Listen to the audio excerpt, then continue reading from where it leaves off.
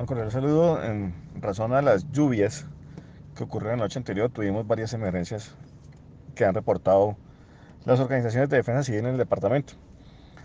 Eh, la primera, o una de ellas, es eh, caída de árboles en la vía que conduce eh, a Melgar por la variante de Chicoral, donde mm, la brigada forestal de nosotros salió en un vehículo a las 6 de la mañana para verificar la situación y quitar los árboles que cayeron y poder habilitar nuevamente la vía.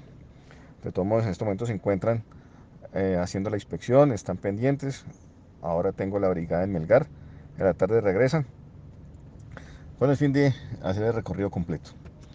De igual forma, en, eh, el cruce hacia el municipio de Líbano, un canal se desbordó y afectó tres viviendas donde habitan 13 eh, personas.